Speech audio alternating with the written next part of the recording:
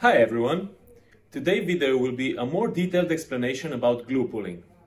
My name is Zan and if you are not subscribed yet, make sure you click on the subscribe button and don't forget about the bell notification as well. That way you will get notified whenever I release a new video.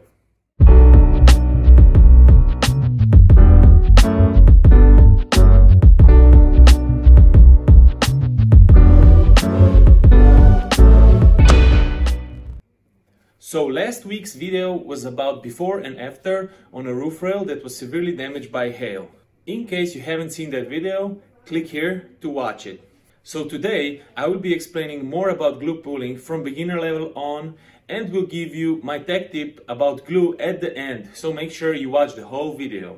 Keep in mind that stuff like this does look easy, but I guarantee you it's not. If you are new to PDR and you want to learn how to do PDR, watching videos is a great way to start.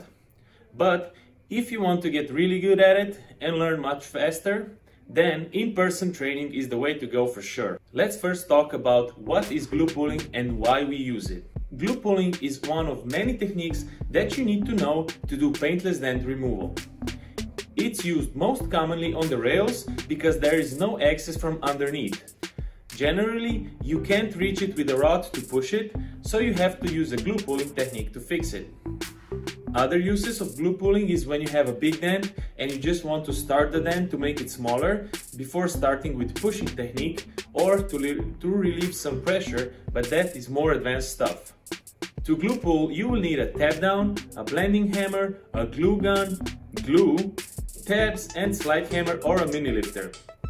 You will also need a bottle of alcohol, but not the drinking one. You will need an industrial one that will get the glue off the panel. Let's make some dents in this rail so we can glue pull them.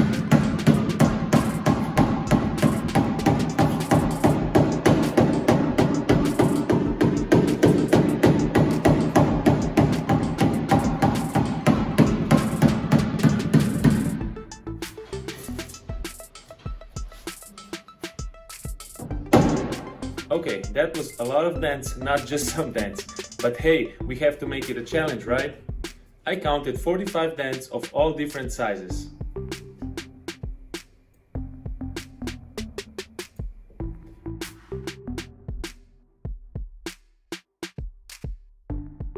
Before putting a tab on, you want to make sure the panel is prepared correctly. After you got the panel ready, it's time to start glue pulling. The selection of glue and tabs is very important.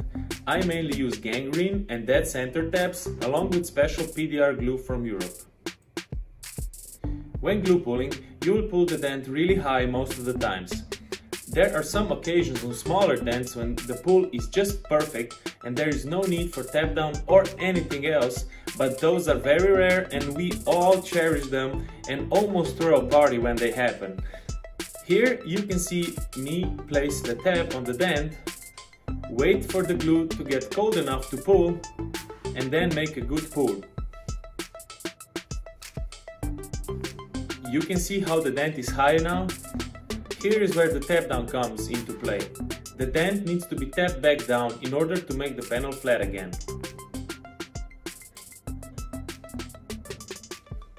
Most of the times we need to repeat the process more than once on the same dent.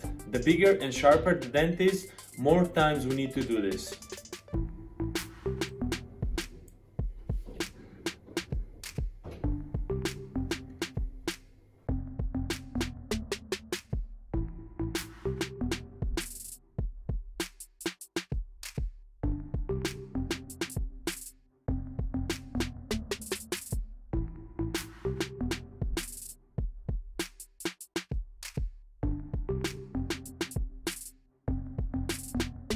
I'm gonna pull a few dents in fast forward motion.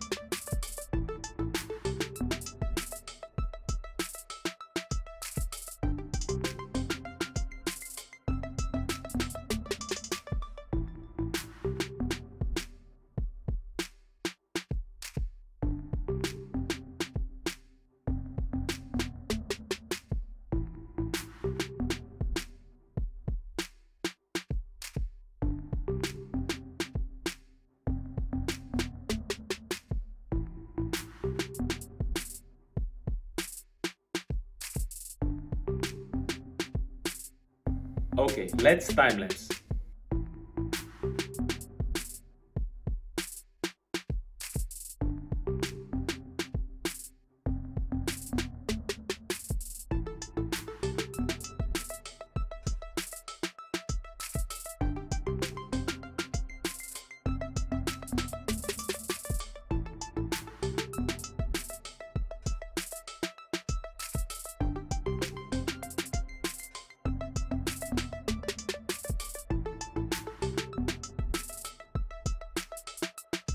With the glue pulling technique, I also use the blending technique that speeds up the repair process and makes it much nicer at the end.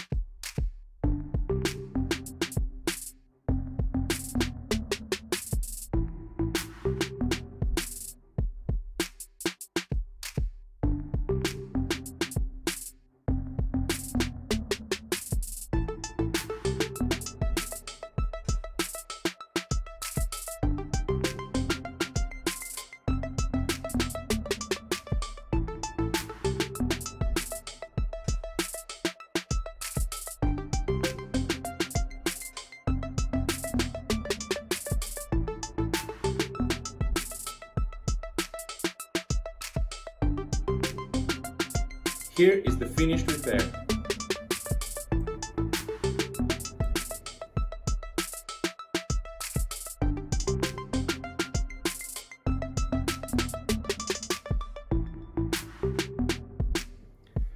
Glue pulling is a much needed skill if you want to repair a hail damaged car.